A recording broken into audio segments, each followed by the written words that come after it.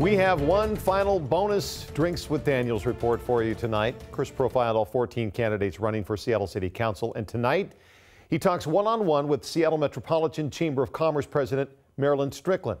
Her opinions about the election, the city, and the future. What brought you to Rachel's Ginger Beer? What brought me to Rachel's Ginger Beer is the fact that she is one of our chamber members and a member of the executive committee. She is a local small business owner and just a great product, and we wanted to be here in the heart of Seattle at the Pike Place Market. For the record, these are hot toddies without whiskey. Yes, they are, and they are quite tasty. What type of city do you think Seattle is right now? I would say that Seattle is one of those cities that is having growing pains because we have a lot of companies that have a global presence. A lot of jobs have been created, but at the same time, there's an unprecedented level of growth that we really weren't prepared for, whether it's housing affordability, mass transit, all the things that come with the growing region. From where you sit, who, who does that fall on, though? I mean, it requires visionary leadership. And remember, there was a time 30 years ago when there were attempts to try to get measures passed for mass transit. Amazon, though, has grown, especially in the last 10 years. Yes, they have. Do you think Amazon has done enough to help with that growth management? The 21st century, companies do have responsibility to the communities in which they serve. And one thing that we've done, Chris, is, you know, we've said to our members, whether they're small companies or large companies, is that we know we have responsibility to this community. The question becomes, you know, how does that manifest itself?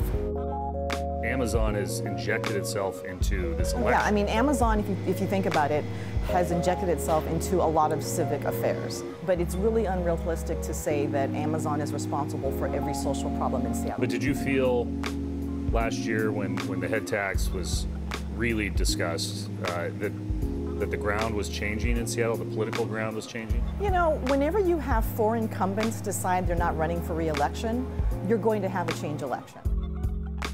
People are tired of grandstanding. People who live in districts are looking at their neighborhoods and they're not seeing progress take place. And then some of our big issues aren't really being solved. You've got an interesting perspective in all of this in terms of how a mayor and council work with the city. I don't think a lot of people realize that you've done this for a long time in Tacoma two years as a city council member, then eight years as mayor. And one of the things I've learned is that if you want to truly advance a city and a region, you have to work in partnership. I would say that one of the challenges that you have right now at Seattle City Hall is there's a complete lack of trust.